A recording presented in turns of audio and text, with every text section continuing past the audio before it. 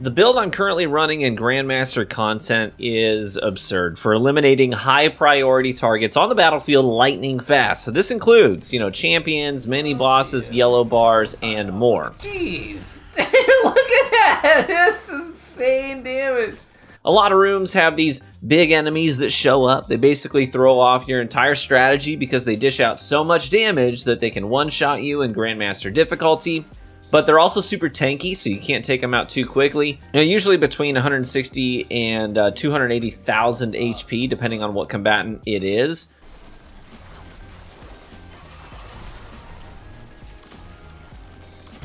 It's just missiles freaking chew them up. I love it. Uh, well, the build that I'm using takes them from like full health to zero in no time. It's with the push of a button and their HP gets destroyed. And the cooldown on this ability is like roughly 14 seconds, so I can really spam it, and it's ready for absolutely any new threat rapidly. This build is very easy to set up too, and it's really versatile, so you can swap in and out weapons depending on what kinds of champions you need to deal with. But the basic setup that I'm running here has uh, all three champions covered in some way, shape, or form. As you probably figured out from the gameplay, uh, we're going to be rocking the Hazardous Propulsion chest piece on the Titans, a new exotic I know Titans have been, uh, well, they've kind of been memed a lot in the Final Shape content. You know, I think there was only like one Titan in the first 24 hour clears of the uh, of the new raid. Uh, jokes about Titans being useless in the raids and whatnot. I mean, I gotta tell you, you're gonna be really happy that you've got a hazardous propulsion Titan for a teammate in the new raid if you're doing master challenge runs or master raids. They demolish subjugators. They immediately delete the mini bosses in the second encounter, like the ogre, phalanx, and wizard. And in Verity, they can instantly deal with the ogres both inside and outside. But circling back to GMs, our focus here is definitely to be able to deal with the champions.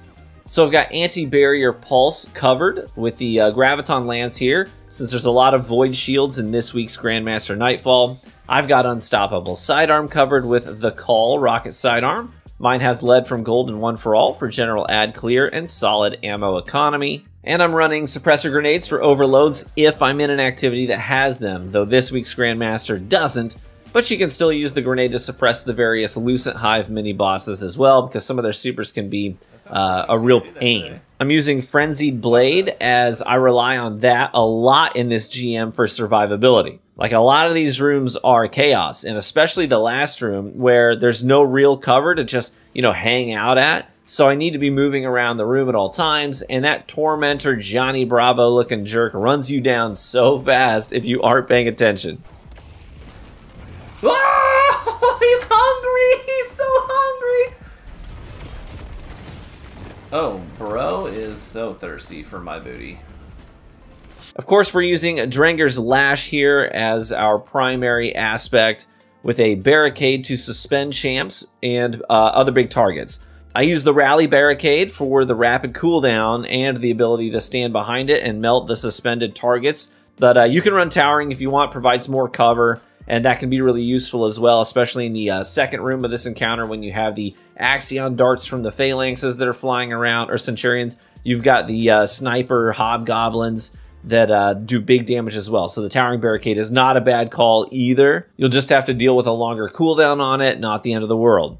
The idea here is that we're storing up six rockets in our exotic chest piece, which is really, really easy to do. Kills, precision hits, all of those things charge up rockets and store them in your chest piece. A lot of times you'll actually charge up the rockets while you're priming a champion anyway, like a barrier champion, you're just you're peppering them down to about 80% HP so that they'll pop their shields. A lot of times you'll charge up, you know, three more rockets just by doing that alone. We stun them, we charge them, we drop the barricade, and then we watch as, you know, something like 122,000 damage gets dumped on them while they're suspended.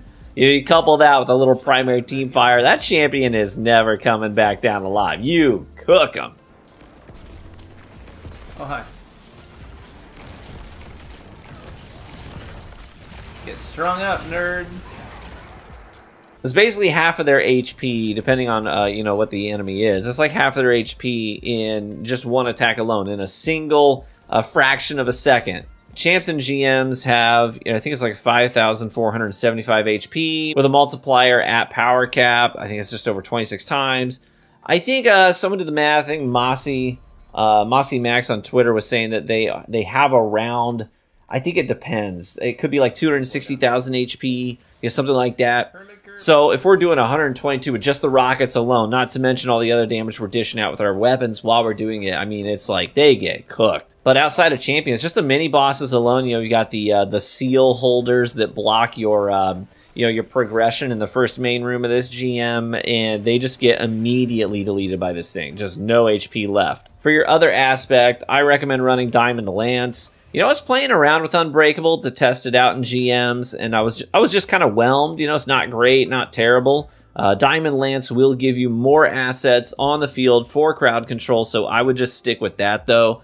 I'll hover over my fragments really quickly here so you can see and copy those as well if you want. And I'll definitely include a, uh, a dim link in the description and pinned comment too. So if you just want to click that, head over there and check that out. You're more than welcome to do that as well. But at the end of the day, you know, this build gives you a clear purpose in GM content. So your job is to help eliminate high priority targets quickly so that your teammates can breathe and focus on clearing the room or executing mechanics. You're the team's sentinel, their protector. You're going to run out there, you're going to tank all that aggro from the from the big guy so that they don't have to.